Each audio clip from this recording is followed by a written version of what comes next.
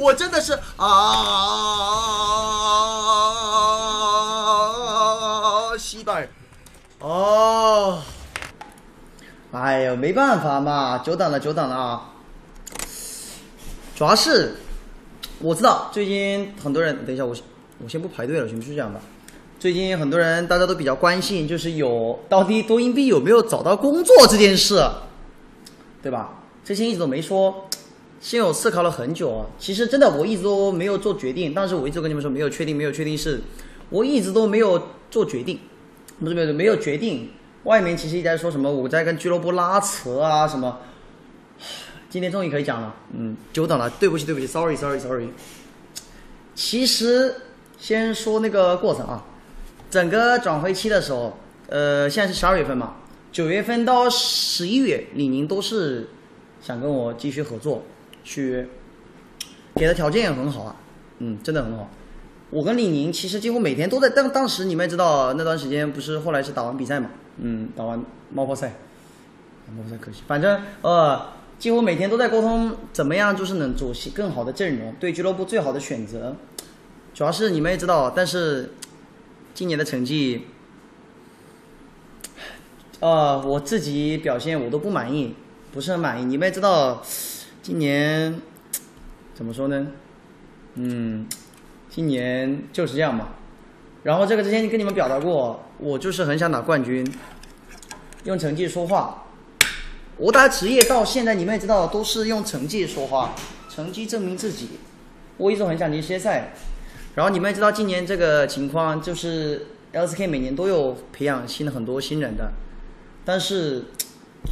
今年开始啊，LPL 未来也有很大的动作，就是要大部分的俱乐俱乐部，所呃基本上所有俱乐部啊，至少有一两个新人要培养，这是俱乐部的怎么说呢？一个长期的规划。那你问我，说实话，当时也跟他们聊过啊，一九年的我，二零二零年的我。二零二一年的我是有信心带新人一起冲，也是因为这个因为我思考了其实很久的，当时想了蛮久，九月到现在，九月到十一月份吧。但主要是明年你们也知道，二零二三年，我自己这两年主要是因为这两年确实经历了，主要是两年都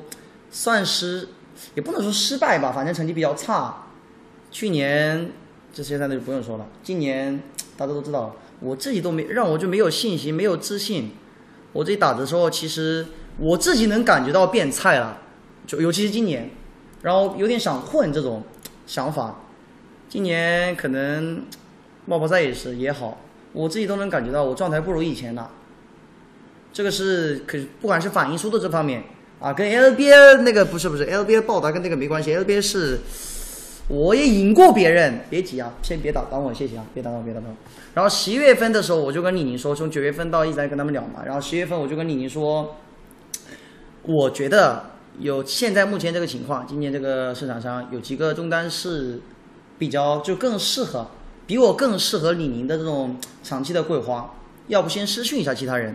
因为李宁一直在等我嘛。那个时候其实他们一直在等我，我们我当时我们就其实我每天每天都在聊那个明年阵容的事情。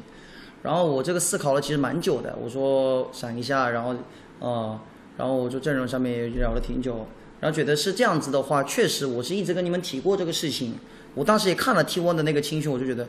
为什么这 LPL 没有新人？然后也当时跟他们提过这个事，然后说要不你们先试训一下别的中弹，在十一月份的时候，你们也知道，然后主要是现在自己也没有信心啊，然后想调整一下心态状态，主要是心态这方面，然后想休息一下。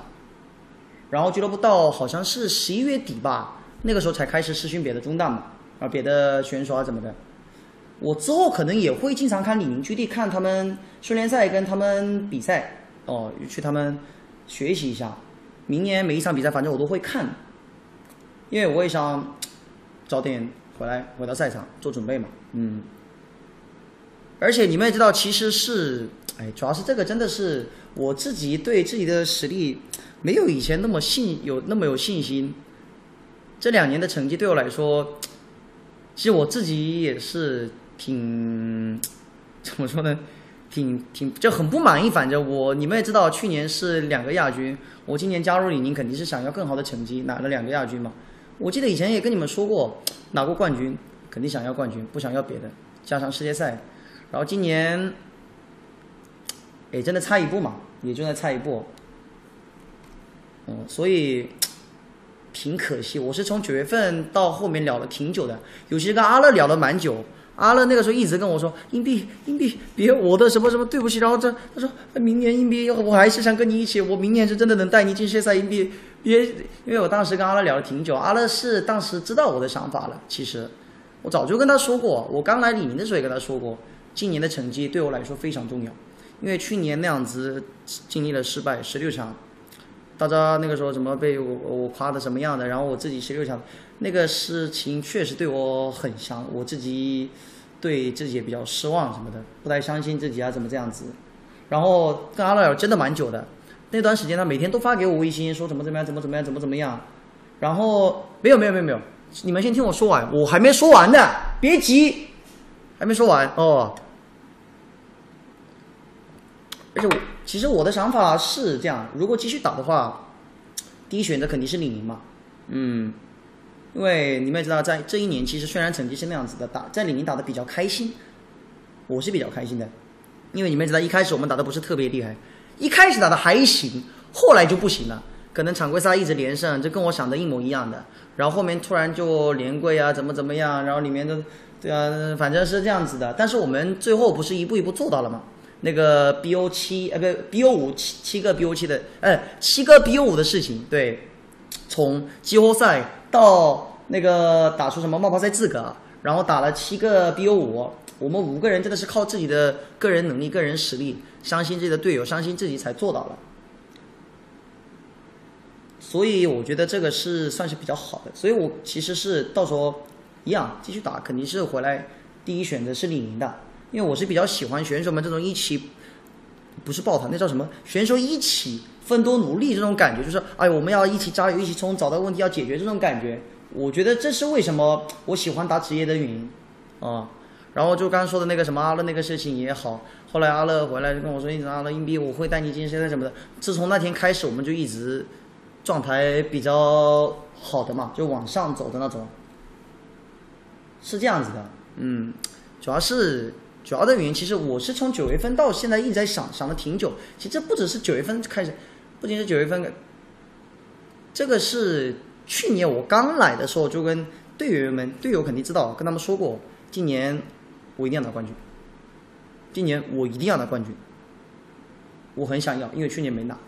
然后拿过冠军的人，就是确实真的，其他成绩拿了都不满意，不不开心，不怎么样。但主要是成绩，后来算是比较满意的。主要是我对自己的表现不是很满意，哎，真的，我刚刚也说了，LBA 那个还好，LBA 哎打不过那个很正常。有些人这 不是 LBA 跟 LBA 没关系，那个我也赢过别人，不是这个，就是比赛上的表现加上，就是我每次选手都是这样的，肯定会想自己巅峰的时候嘛，就是自己巅峰的时候怎么样的。然后每次我自己啊。可能算是也算是我给自己压力吧，觉得去年是多硬币是什么样的，今年为什么我这个，比如说随便随便说举个例子啊，不是吹牛逼啊，就什么什么盲师爷勾那个机器人的勾这种反应速度哦，我觉得这才是正平这正常的我，